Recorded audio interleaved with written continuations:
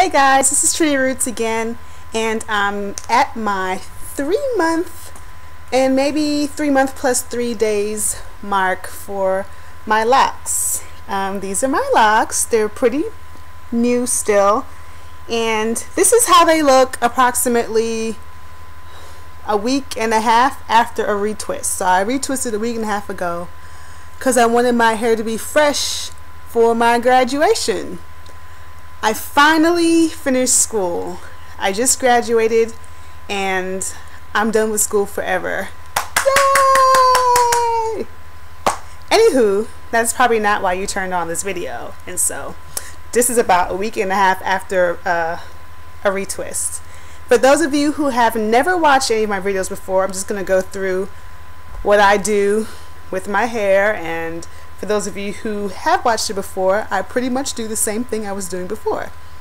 No changes, still washing with the, um, okay, peppermint Castile soap. There's a glare from the, that's natural light in my apartment. I love, I love how much light I get in here.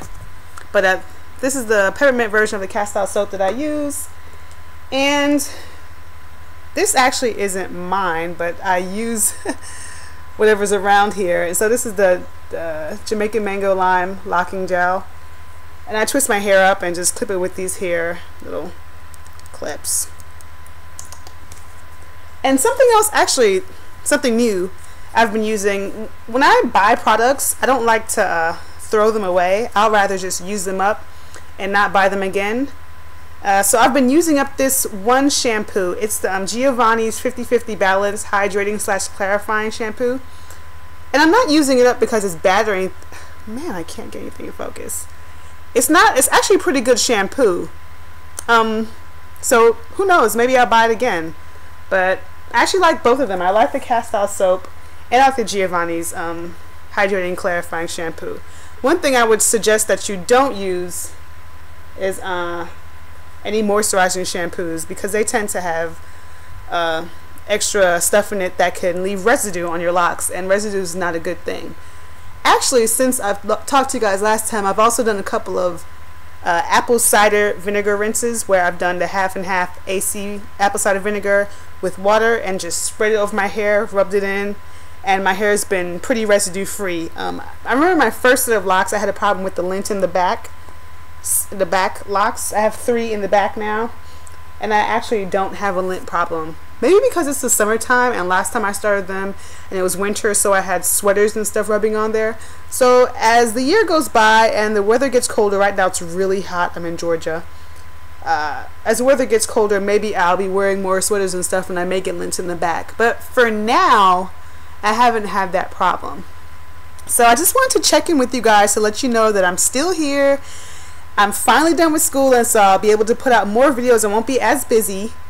You guys can probably see um, in the back there. I'm actually packing to leave this apartment. My box is back there.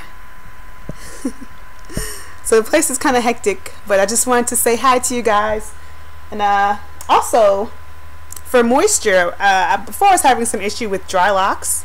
And so for moisture, what I've been doing is putting in a spray bottle um, approximately two cups of water.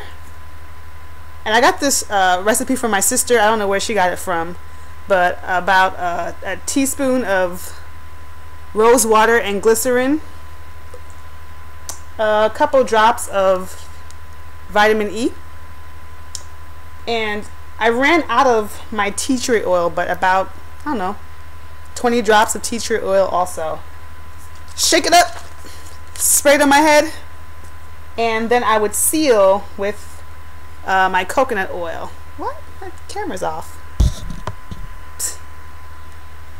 Camera's off. Anyway, my coconut oil. Um, and I got this from Earth Fare. I'm sure you can guys can coconut oil from.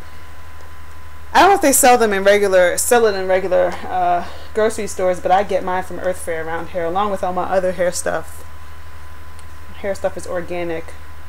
Not that I think it has to be, but that's just the way my stuff turned out. You can use whatever you have available to you. And of course, as always, you know, if you want your hair to look good, you have to put water in your body. So keep drinking water, eating good foods. Anyway, that's it, guys. I just wanted to come on here and say hi, let you know how I'm doing, let you see my locks. These are my babies. Let me turn around. 360. And they're thickening up. Okay, it's kind of hard. It's kind of hard to keep turning. Oh, uh, there we go. Whew. Whew. I almost didn't make it. All right. They're thickening up a little bit too. And so this is, like I said before, three months and some days. All right. Well, that's it. Let me know how your locks are doing. If you have locks, if you just started. And thanks for thanks for watching. Have a good day.